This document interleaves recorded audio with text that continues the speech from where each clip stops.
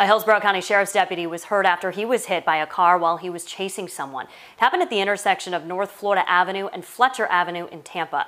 The deputy suffered serious but non-life-threatening injuries and was taken to a local hospital. We're working to get more details about what happened. As soon as we have that, we will keep you updated on our 10 Tampa Bay app.